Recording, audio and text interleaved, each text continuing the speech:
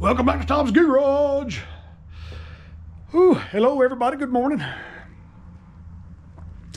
Today, today, today, pal, it's an Oregon push mower. Oregon. It is. I'm not sure where you got where you buy these things at. I guess Northern Tool, Harbor Freight. I guess I don't know. Maybe you can get one on the internet. I don't work on these things. I don't take them in, but fellow was nice enough to go ahead and get the part we needed. Just a self-propelled cable. I tell you, it's been self-propelled week here at the old garage. Good Lord. But that's what it is, just a self-propelled cable. That's all we got to do, and that's all we're going to do. Never done one of these before. I guess this was a, I don't know. It's got the Briggs EXI 625 engine. It's got the good engine on it. Oregon. Would that be a Powermore frame? I don't know. If it was, it wouldn't be a Briggs engine, I guess. But we're going to replace the cable. We are. Let's get busy. Let's do it. I got to figure out how to do it. I've never done one of these Oregons. Let's see. First of all, let's take this off.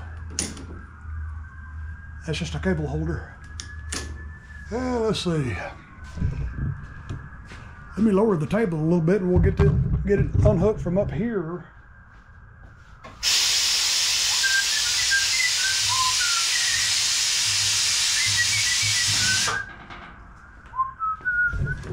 All right. And that's what it is right there. I can't get Brandon's tool in there. I was hoping to get to use it. What we'll do is just take a pair of needly nose or a screwdriver or something, try to get in there and get that in the snap.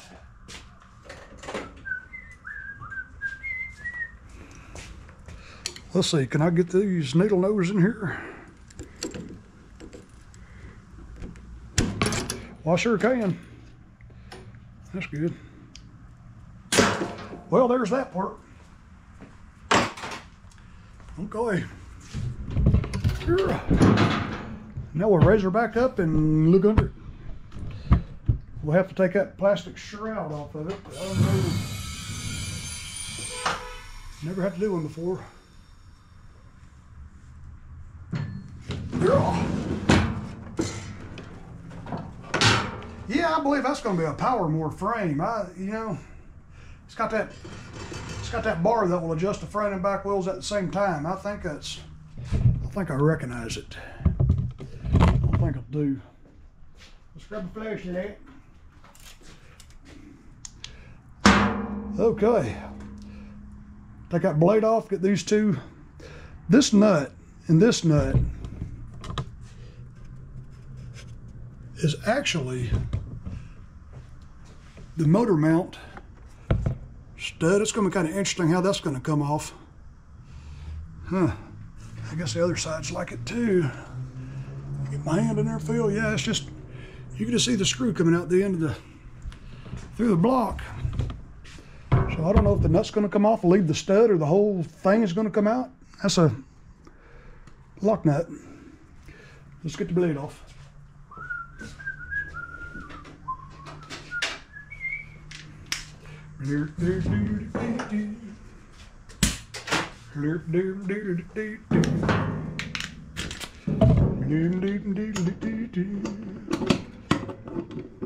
Well, I don't know what kind of crazy size that bolt is. It's not a 5 8 it looks like a 5 8 Let's try an 11 16 Yeah, we'll use 11 16 Pretty good, pretty good.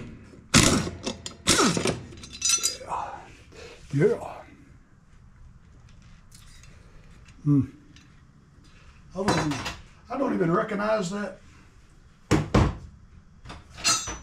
blade adapter pattern. And that crazy looking blade right there, I don't know if somebody done that. But they sharpen both sides of it. It's crazy looking, isn't it? Huh. Well, well, don't know. Pull that bolt out up there. It's be a 10 millimeter.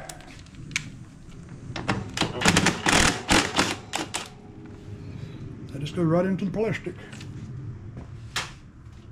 And then we gotta dig out this little hole right here because this is where the plastic shroud stops. That's where it's put together. So from here to here, and all this is one piece, I believe. Looks like one piece. No, look at there. Okay, there's another Phillips head screw right there. And right there.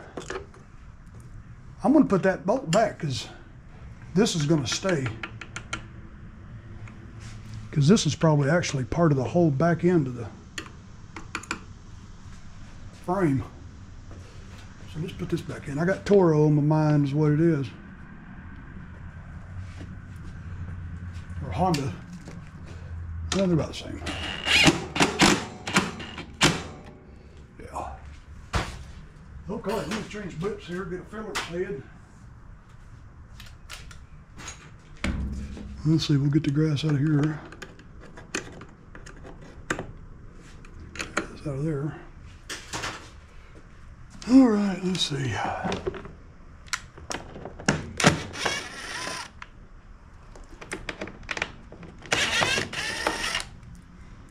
Two little screws. We're gonna have to get this blade adapter off here, I'm afraid.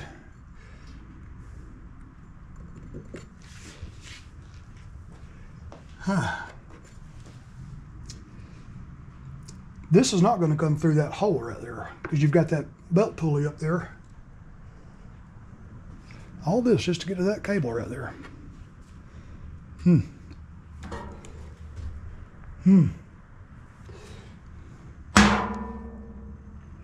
Let me grab another socket.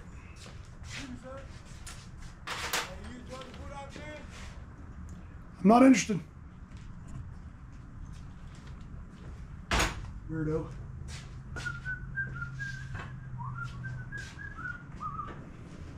Let's see, what size is that? What size is that? Looks like a 14 millimeter. I don't believe it is. Let's try a 13 millimeter. It is.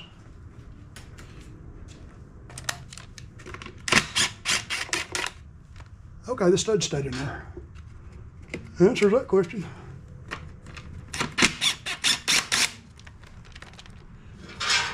All right, let's see what we have here. First time ever doing one of these. Maybe we could take and pull it out and just move it out of the way instead of having to. We still need to get to that belt though, because we've got to take the. Well, no, maybe not. No, we're just changing the cable. I've done so many drive belts lately. Okay, let's see. That's loose there. I don't see any other screws. Let me look on the top side here and make sure there's no screws on the top. I don't see none. Don't see none. Grab my little screwdriver.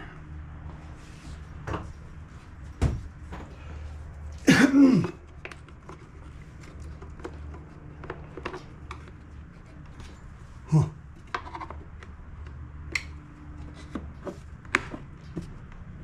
How does that come off?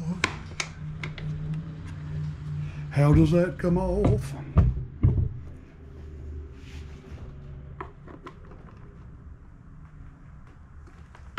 How do that come off? I don't see any more screws anywhere. Hmm. Maybe it's just pressed on. Maybe that stud's holding it by the threads. Yeah, there it is. Yeah, we got a little washer here. Okay. The washer is holding it. And this little washer is too.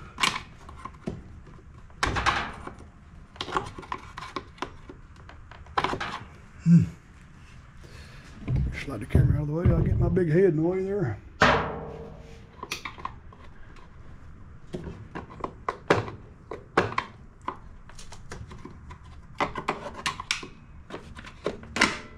Well, get a different screwdriver. I don't want to take a chance on hurting that one. Oh. How does that come off? I think that, I think that washer's got it held. I believe if I can get that washer to let go, it's just stuck up in that plastic.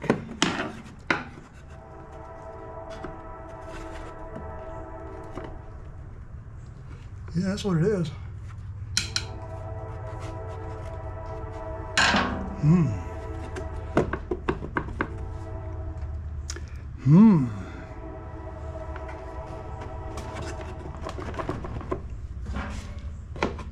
Hmm.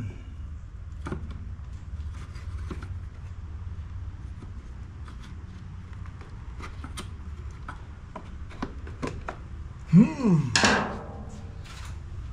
Trying to keep him hurting it. Please tell me don't hurt him. Hmm. Let me take a little screwdriver.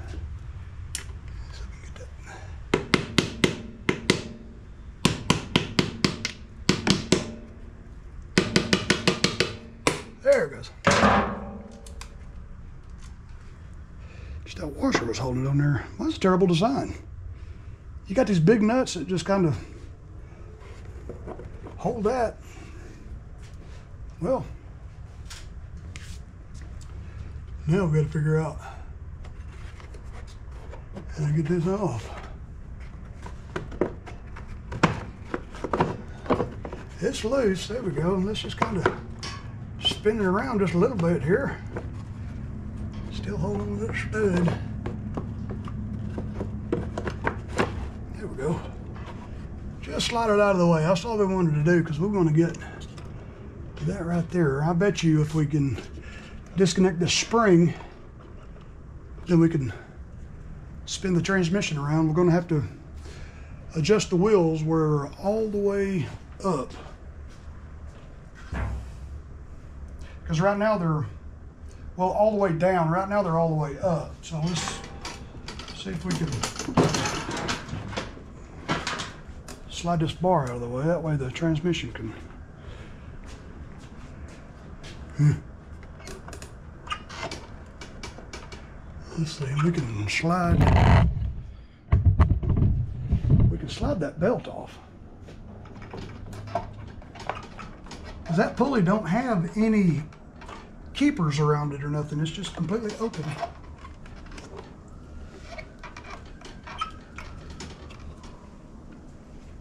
Disconnect that spring right there. I get to use Charles Dean's tool, pal.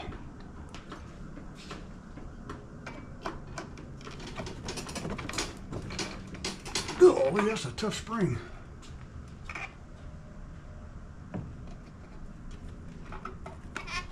Oh boy, that thing is tough. Woo!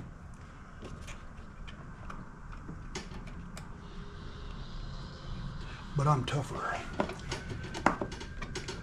There we go. Now this spring is going to fall off, so I'm going to go ahead and take it off. It's kind of weird looking, isn't it?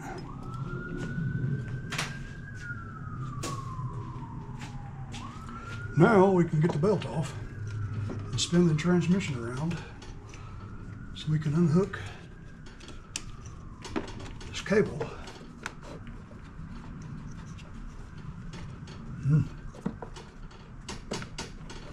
Pull some of this cable through there out of the conduit because it's broke anyway.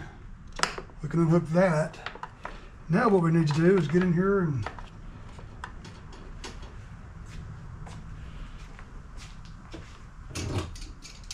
This thing's already broke, so there we go. Pow, just pull it out of there. It's already broke. Don't try to save it. Get this little rubber grommet out of here. And then we can we can pull it out. because that rubber grommet's got to go with it because this ain't going to fit through that hole.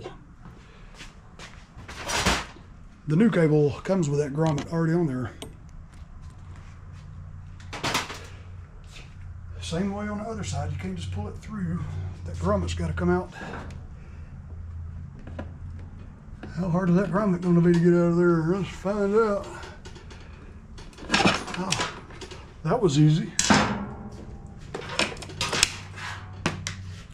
All right, there's your old cable. Pow.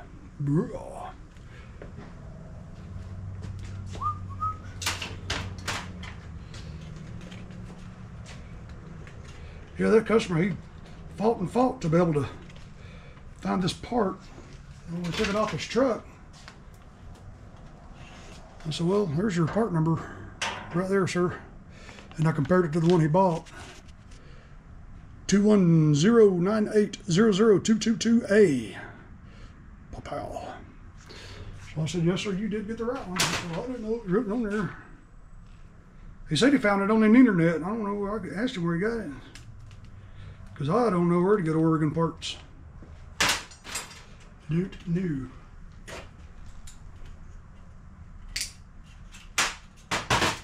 I got to where I got so choosy about what I take in.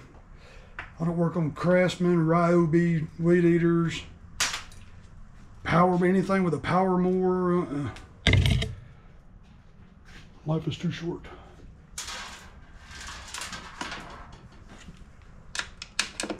Stuff like that just clogs up my shop. So if we get this grommet back in here. Squeeze it in there. Let me, well, there's a little screwdriver we can use.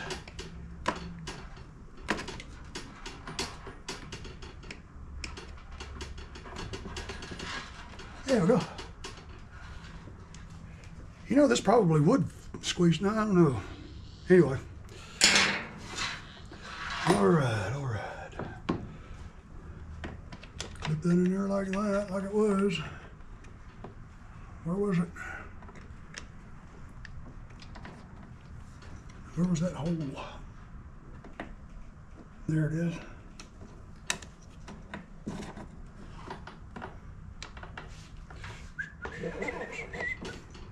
See, I'm having to pull this other end. Okay. Mm-hmm. Okay. There we go. Now get the belt back on it. I just hope it didn't come off that crankshaft pulley. I'll get my head in there, I'll take a peek. Really can't see it. Maybe I can stick my finger in there and feel it.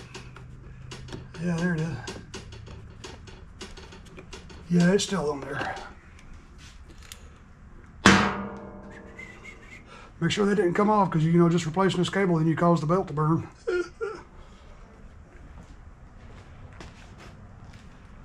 Something up just to fix something else.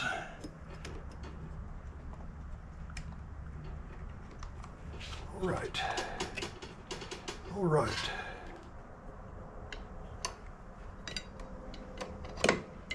That thing hooked in there.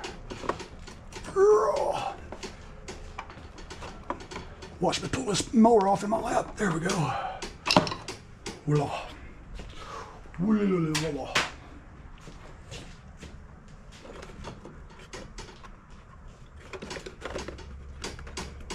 Check one more time, make sure that belt is on that pulley.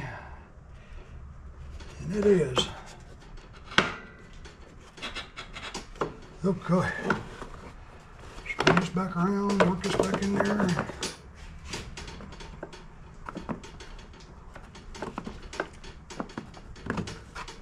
That on there. You've got a little nipple right there. I was going to have to go back inside there.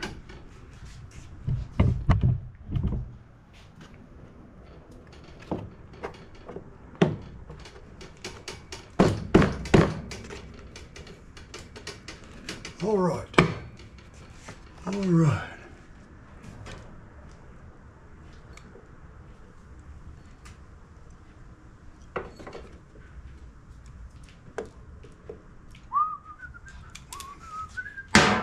Okay, that's all there is that. Just take your time and go slow.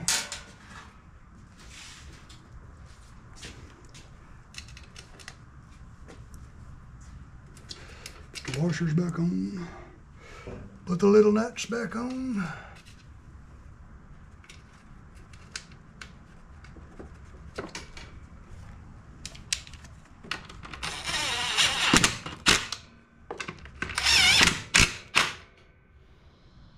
All right.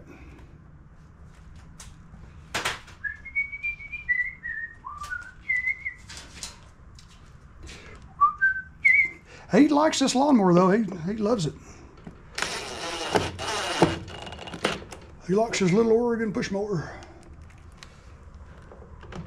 I said, I'll try to fix it for you. There and there. We didn't have to take that out. Everything's back together. Everything seems to be good. Okay. I believe that's all there was to it. I believe that's all there was to it. Now we'll stand her back up and hook that back in up there.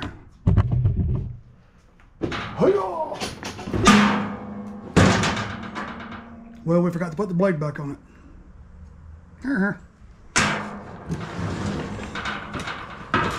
I done that yesterday too. I was working on that Honda, putting that new drive belt on it and got it out there and running around and felt, you know, seemed like it was running kind of funny. Look, the dang blade was still laying on the bench. I'm like, well, hmm.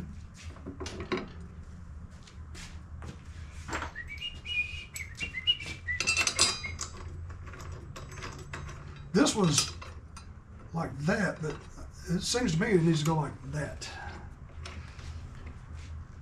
It'll probably twist with you when you tighten it down.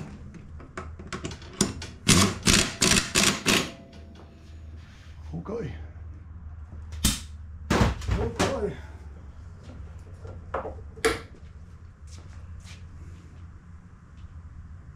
Okay.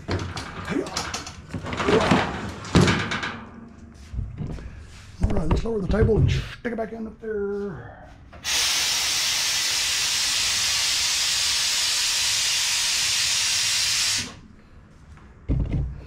All right, all right, all right.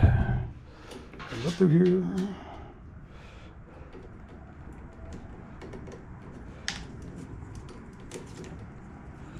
Let's see, I want that one to go there, and this one can go there. Or does that one need to go there?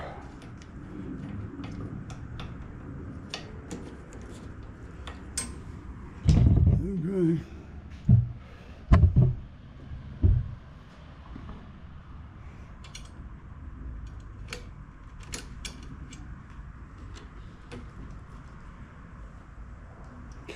Well, clip it in here first. All right, snapped in. See if we can. Nope, we're gonna have to pull this out. Clip it in there.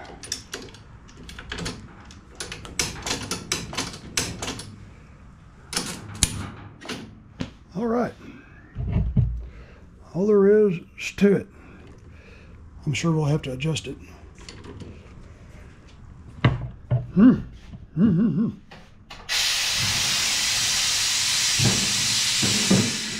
I've already checked the oil in it. Let me raise it. Let me move the adjuster back where he had it.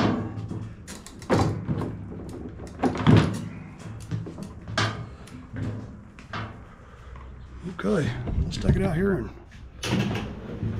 fire it up and see if it works. I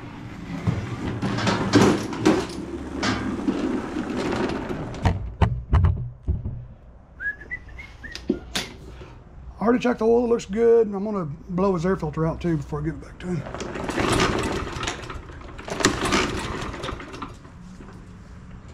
Nope, this was the auto choke. Let me just give it a second to fill up that carburetor back. It may have emptied the bowl. Check see what kind of fuel. It's got plenty in it.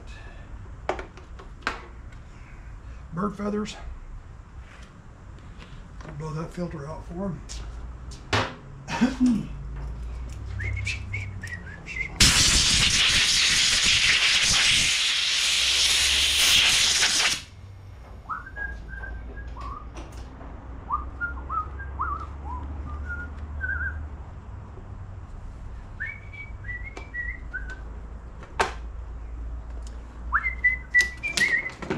Hiya!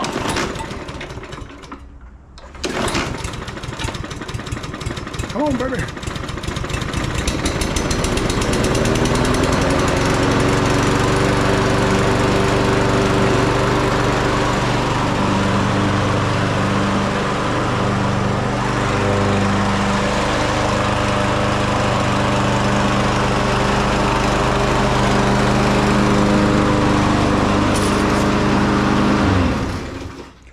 Well, okay. There's your uh, self-propelled cable replacement on a Oregon Pushmore. Model number MNA 153015 as the model number of this particular one. And that model number makes me think it's a Powermore. I think it's power. Y'all tell me what y'all think it is. I don't know what it is. But he seems to like it. It's about a year old. Well, there we go. All right, boys and girls, thanks for watching another time. Whew, another one done. Starting to get pretty caught up now. We ain't had much rain this month. Y'all be good, boys and girls. Love y'all to death. Tell somebody I love them. And we will catch y'all on the next one. See y'all.